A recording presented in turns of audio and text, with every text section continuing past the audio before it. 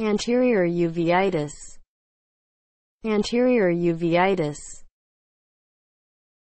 Inflammation of anterior uvea, iris, ciliary body, and anterior chamber angle.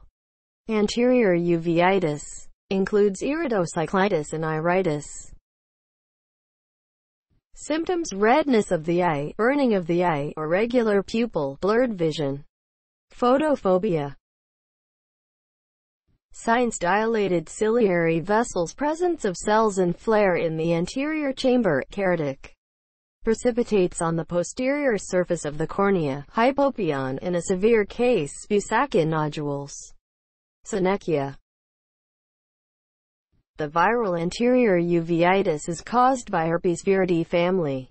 Subfamily, drug herpes simplex. Virus HSV oral acyclovir varicella zoster virus VZV oral acyclovir cytomegalovirus CMV oral ganciclovir